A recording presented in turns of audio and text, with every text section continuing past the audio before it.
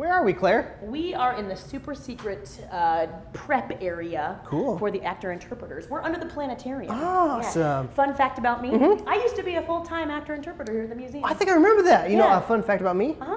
lactose intolerant. It's, it's not that cool. Okay. Let's get back to you. What were you bringing, saying about the actors? Well, the program has changed so much. Back then, there were just a few of us, Mm-hmm. but now there is an acting program in almost every gallery in the museum Cool. and in all the open spaces too. Awesome. So I thought it would be fun to check out some programs that they do, and maybe follow around an actor for the day. Ooh, that'd be fun. Wouldn't it be? Yeah. Mellie's waiting for us. Let's Mel- go. Mellie, are you here? Hey! Hi, guys!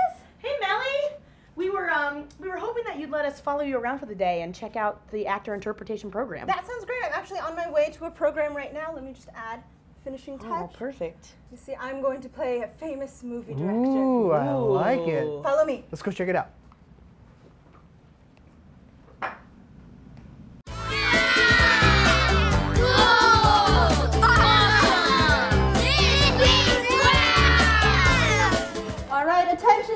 Attention. Can I have everybody's eyes on me, please?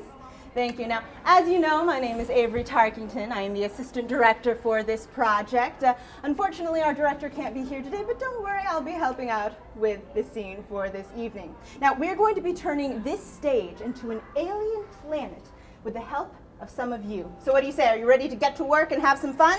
Yeah, that's what I like to hear. Oh Mellie, that was so good. Thanks. Um, okay, so what's next? Oh, next I'm going to play the first female paleontologist, Mary Anning. I'm going to put the stuff away real quick. To the dinosphere. Yes, I think I got her outfit right here. In fact, when I was searching in the ocean, I was actually able to discover a new creature that no one had ever found before. Would you like to see? I made a sketch of it, all right. Here it is. It's called a plesiosaur. It means swimming lizard. And I was the first person to ever discover it. My proudest work. Truth be told, not many tombs look like this one. In fact, of the over 60 tombs we have discovered in the Valley of the Kings, this one is the most highly decorated and to me, the most beautiful. You see, these beautiful pictures on the walls are not just pretty pictures. No, they are hieroglyphs that tell us more about the person who was buried here. Oh my gosh, Mellie, that was so cool. okay, what's next? All right, let's see. The next thing we have, we're going to the power of children. Okay, awesome. Here we go. All right, boys and girls, let's everybody settle into their seats now. Now, I would like to say a few words about the events of last year and how they will affect the goings on in my classroom this year. Now, I know that none of you, save one or two, were coming to school at that time, but regardless of your absence, you are aware of what happened outside of our school in the 1960 61 school year.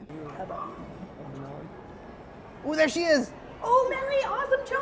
Oh, thank Yeah, you. well done. Wow, Thanks and it's lot. not even afternoon. You've already done four programs. Yeah. What's next? oh, lunch. Ooh, what are you gonna be, like a chef? Yeah, or like a lunch lady or Uh, something. No, I, no, I'm going to lunch. Oh. Yeah. Can, Can we, we join come? you? Yeah, sure. Okay. Well, we'll see you next time on, this week's Wow. Wow. Lunch.